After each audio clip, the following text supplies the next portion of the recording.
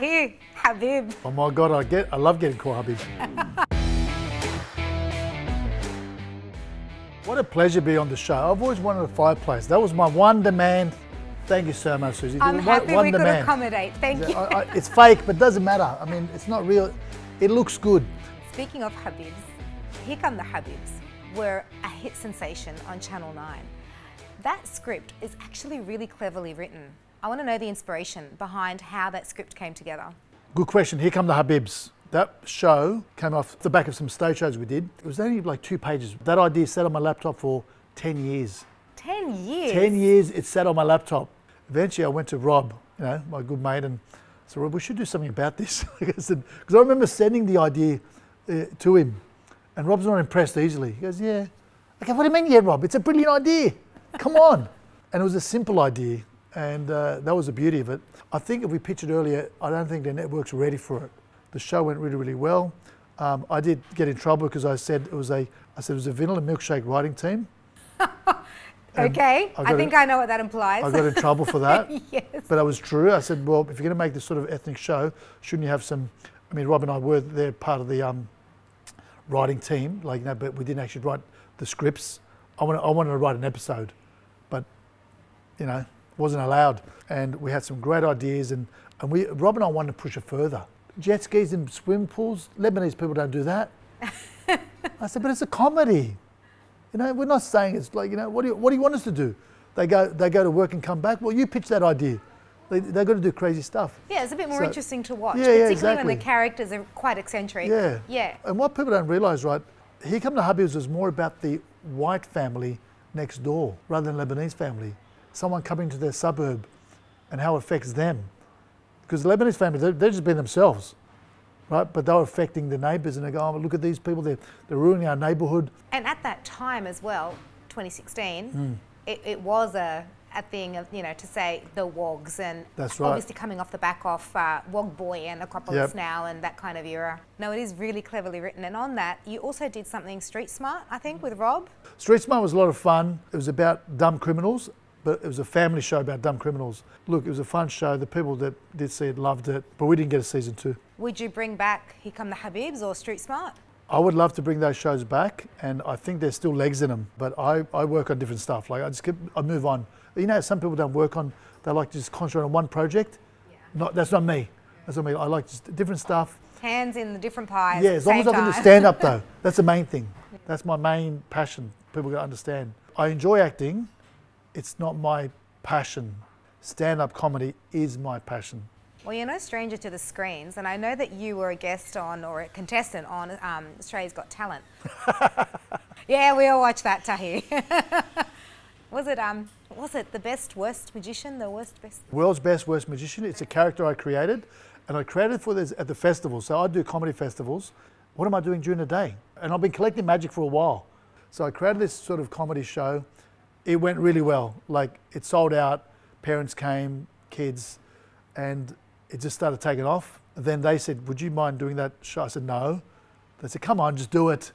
I said, "I'll do it, but don't mention my name." Right? I said, "Don't mention Tay." So I come on the show. I remember Shane Jacobson saying, one of the judges saying, "Tay." I said, "No, the world's best worst magician," and it went really well. Got a standing ovation. Yes, yes, yes. But of course, you know, I can't win. Would you do magic again? Absolutely. I went to Brisbane Comedy Festival recently. I do my adult show. I did my children's magic show and it sold out. It was crazy. I, it's just a lot of work. That's the only problem. Oh, is that why used- you didn't want to pursue it? Just the work? Well, I'm, I'm do, I do it, but only when I feel like it or the preparation involved. Yeah. It takes me like one hour to set up. I'm going to be there early and I'm going to do, then I'm going to do the show. but isn't that better than learning lines for hours and hours and hours? No, well, stand up, I just turn up. I don't have to turn up when the show starts. Yeah. If I'm like the last act, I just turn up at the end if I have to. But the magic, I've got to pack it up at the end as well. Okay, It kills me, and it kills me doing that much work. Now, Rob said something really interesting. He said that you took him under your wing and Rob learned a lot from you. Now, I want to know from you, what were your impressions when you first saw Rob on stage when the audience laughed for the first time? What was his reaction? He's never done stage show before in his life. No, all right. So uh, I go, come on. He came on, and, his, and my other mate, George, you know. So they're on stage, Yeah, and Enmore Theatre sold out, packed. yeah. These guys are on stage. The curtains come up. we start our scene, and they do some lines, and the crowd just roars with laughter. And I remember it just hit, it hit them like a slap on the face. I clearly remember standing there watching them, watching. I could see their faces going. They, they sort of went back and whoa, and then Rob looks over to me. I look at him. I go, "Come on, do your next line. Stop standing there." like because it was like someone just slapped him on the face, you know. And um, it was a great experience, and we had a great time. And, and since then, he's Rob's great because he, cause he's, he's taught himself, which is beautiful. Like self. Has he really? Yeah, it's just like the, you know we don't.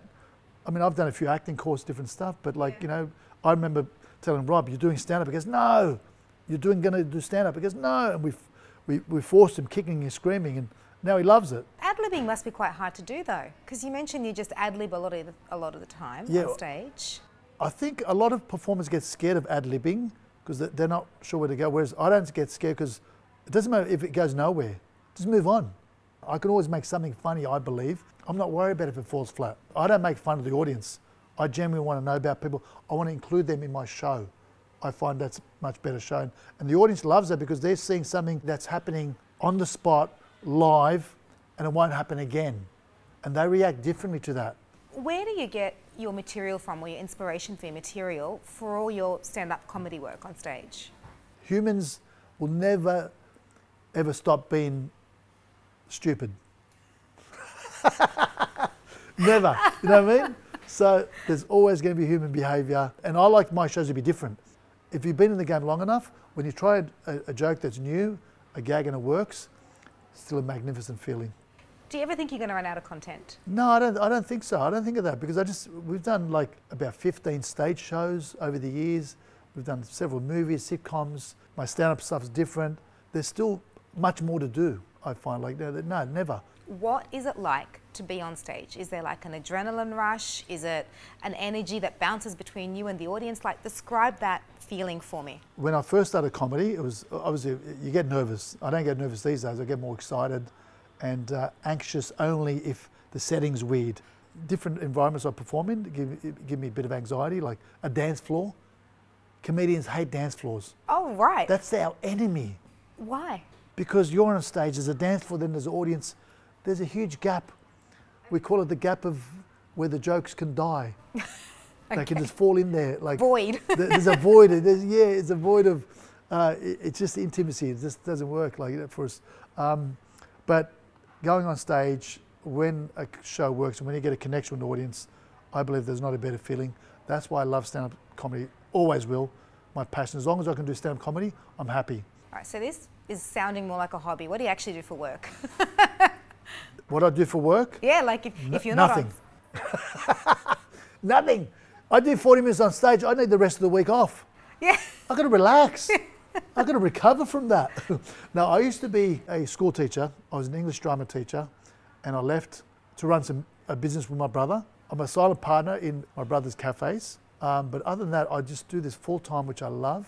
But people think, like, because of the shows I've done, they think this guy must be in the cars and like burnouts, and they go, "Oh my God, look, you Habib, look at my car. Come here, look at it." All right. I go, look at it. I spent 50 grand on it.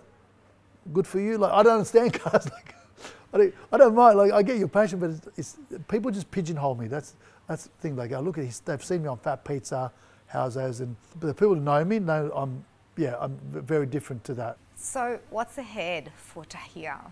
What can we expect? I want to do some more movies. I want to do a children's movie. Funny enough, like yeah, I've just pitched a drama. I can be a serious actor as well. I'm not saying I'm Robert De Niro, but I'm saying you look at Robert De Niro and he did all serious roles, and then he did a comedy, and he was scared of doing a comedy and analyze this and analyze that, those movies. And Billy Crystal said, "No, you'll be right," because Billy Crystal was a comedian, but he was brilliant in it. If you're an actor, you can, you can do different stuff, but it's just how people perceive you. I want to write my book, which I'm working on. What's Uh, your story about? well, how I came from Turkey, migrated to Australia, and became a live stand-up comedian, which is So, your, bi- your biography. yeah my biography. Yeah, Yeah, yeah. yeah, so yeah. I'm I'm actually doing. I'm actually going to call it the proper way to immigrate. right. So I'm actually doing that show right now. I'm on tour with that. Okay, that's a great title. The proper way to immigrate, which is what title, come to a country, love the country just as much as the one you've left, and embrace it for, for all its, you know, people and its beauty. But that's the proper way to immigrate. Before we go, I have to ask you, can you please do an impersonation for us? I'll do my character Habib. It's Habib. I swear to God, and like I swear, like I heard this accent at Bankstown train station growing up when I was going to uni, and I saw two like Lebanese. There were three of them actually sitting there. And I was sitting like directly opposite, and one of them like was telling a story to the other two, right? And his other mate was involved in the story, but this guy wasn't. So he's going like, I swear to God, like you know, and I'm sitting there watching, listening, just loving it. He's going, I swear to God, like we did this, we like did that. Ask him, ask him. Like then we did this. I swear to God, and then like we did the burnout. Ask him, ask him. Oh, I swear, like we did this. Like if you don't believe me, ask him. And I'm dying. Like I am dying. he kept saying it, and then he'd go, ask him. Like if you don't believe it, the story. And I took that accent, like, and, and I said, okay. So I'm back to myself. And then I said, funny, like I've got to do the accent. And the guy announcing trains at that stage had the same accent. So I made fun of that. And so I swear to God, like then I got this character Habib. I auditioned for Fat Pizza. The guy saw me. He goes, "Yep, you're a drug dealer." That's what he pigeoned me whole as. So I was a drug dealer. Next, I turned up the set. I was giving yellow yellow tracksuit, and then I played like the character of Habib on Fat Pizza, Housos, and Swift and Shift Couriers. Three different sitcoms. Exactly the same character. I went to acting school. What a waste! Like, who goes like from one sitcom to anyway? Um, so that's why I've, I've, I've got a lot more than that, and I'm doing it. So yeah, oh my god.